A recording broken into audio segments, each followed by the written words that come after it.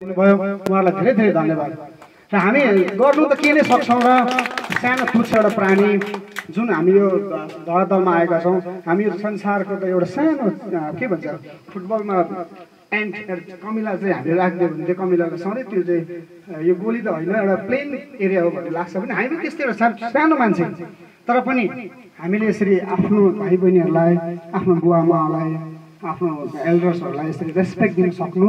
यो सबैभन्दा ठुलो भाग्यशालीको कुरा हो।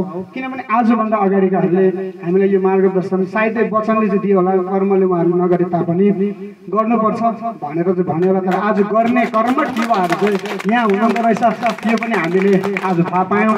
एउटा शिरमा हामीलाई त सधैँ माथि उँधो फर्केर हेर्नुपर्छ तल याङथाङबाट तर उहाँहरूले चाहिँ हामीलाई उँधो फर्केर सधैँ आशीर्वाद दिनुहुँदो रहेछ भन्ने कुरा आज यहाँ हामीले थाहा पायौँ।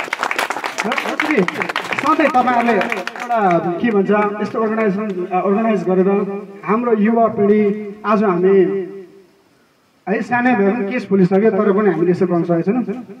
भने उहाँहरूले त सानै उमेरको एउटा सानो भाइले पनि एउटा प्रोत्साहन लिएर जाँदै थियो।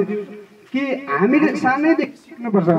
डिसिप्लिन सबैभन्दा ठुलो कुरा उहाँहरूले यहाँनिर आज डिसिप्लिन सिकाएर ड्रग्स फ्री एरिया भनेर उहाँले आज घोषित गर्नुभयो। साँच्चै नै हामीले भोलिको दिनमा यो ड्रग्स फ्री एरिया सबै मार्तम कन्स्टिट्युसनलाई पनि बनाउनुपर्छ। यहाँ मात्रै होइन। हेर्नुहोस् यो तल रोड लाइनले के अरे हाइवेलेस भएको लाइनहरूमा हेर्नु गयौँ भने हामीले प्रशस्त मात्रामा पाउँछौँ। यो हामीलाई बिगार? यसै तल तल स्टुडेन्टहरूले हन्ड्रेड पर्सेन्ट किन ल्याएन? यही एउटा के भन्छ सिचुएसन छैन। त्यहाँ एउटा इन्भाइरोमेन्ट छैन। कि हामी पढ्नुपर्छ हामीले यस्तो गर्नुपर्छ। एकअर्कामा पल्लो बिल्डिङ र ओल्लो बिल्डिङ झगडा गरिरहेको हुन्छ तर एकता भन्ने कुरा चाहिँ छैन।